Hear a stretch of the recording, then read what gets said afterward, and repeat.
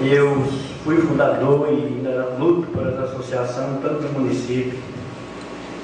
E quando eu peguei o projeto, Silas, quando eu olhei que para mim a Colina Verde tinha só 5 mil, foi aonde deu a eleição para a prefeita Cida, lembro aqui o nosso vice-prefeito João Pacente, e quando eu olhei ali, porque lá que deu a eleição para ela, quando eu olhei ali, é, me rebaixou demais, me deixou assim muito triste, porque só 5 mil, que, que são diferentes. Quando eu olhei ali, eu não vi outros da associação. Quando eu olhei ali, eu não vi o João Mineiro. Eu não vi a cavalgada de Colina. Eu não vi a cavalgada de João Pacência, lá que fizeram ali no João Café. E os presidentes da associação estão lá, morrendo a língua, precisando de ajuda. Por exemplo, a nossa, que quando veio pedir à prefeita um saco de cimento, e nós aprovamos aqui no tempo do ex-prefeito Chico, para que fizesse, eu acho que lá até ajuda de igreja, o ex-vereador Wagner da Saúde.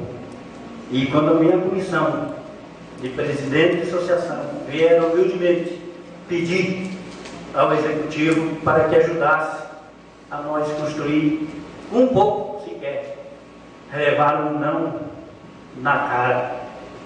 E com certeza disso eu volto.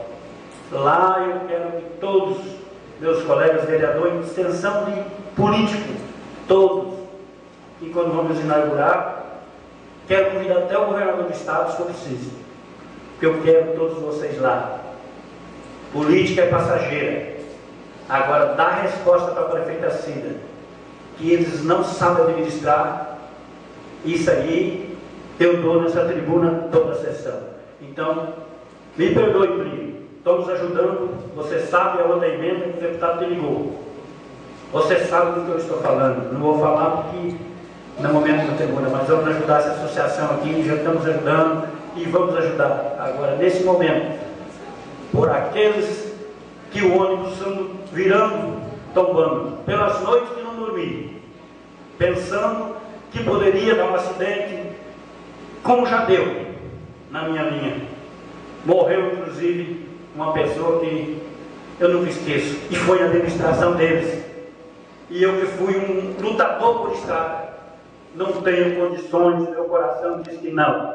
Me perdoe, seu Walter, me perdoe, primo, que tu foi um lutador que chegava aqui e dizia, vereador ali em nossas estradas, não sou contra a PJ, nós estamos ajudando de outra forma, de outra forma, que Vossa Excelência, com certeza, o dia da ali poderá falar.